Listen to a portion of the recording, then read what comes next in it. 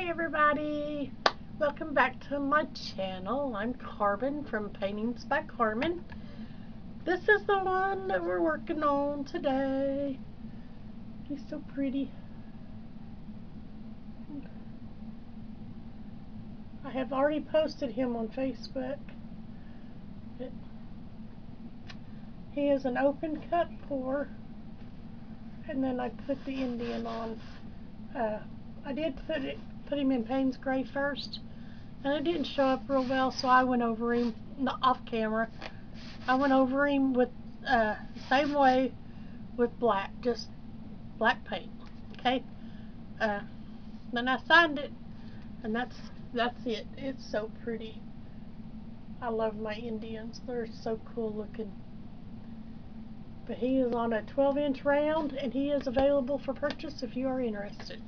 Okay? Uh, the colors, I have no clue. The colors in there. I have no clue. Um, I have a whole tray of paints. Let me swirl you around there.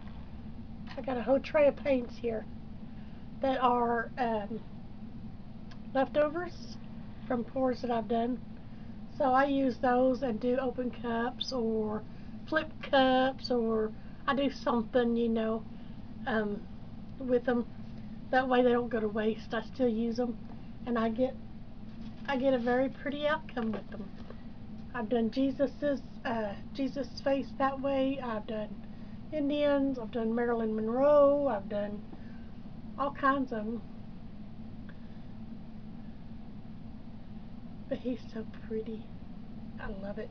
And I love how the, the pink ended up going across his head like that. So I called him Sunset Indian. He's so pretty, guys. Alright, guys.